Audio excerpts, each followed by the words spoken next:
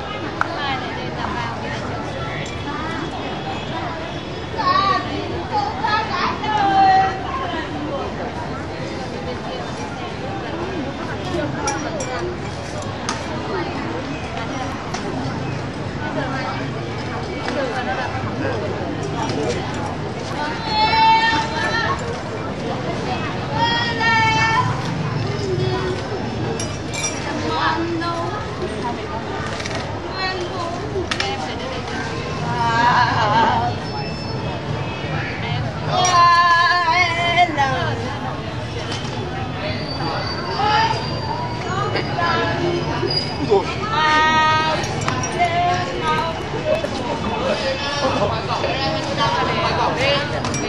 nó lại bảo tổng liên quân thôn nhà nước kìa ra Trong cái đấy người ta đào muộn rồi. Không biết thằng này. Gần đâu đủ xe mà ra mày vào đây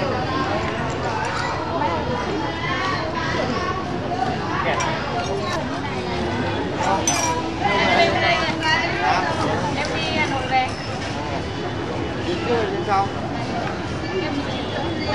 Nào ra hết mé rồi này Ờ, là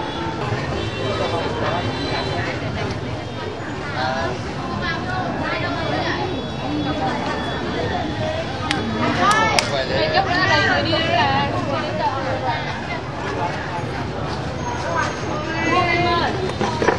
Điều với ra đây? Thuốc Đào này Mai này Trái tao mày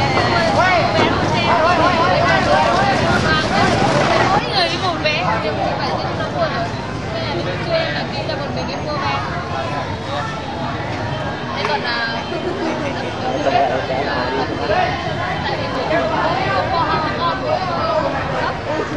Cùng một chỗ đi mỗi góc mà coi như thế thì anh đừng mua vé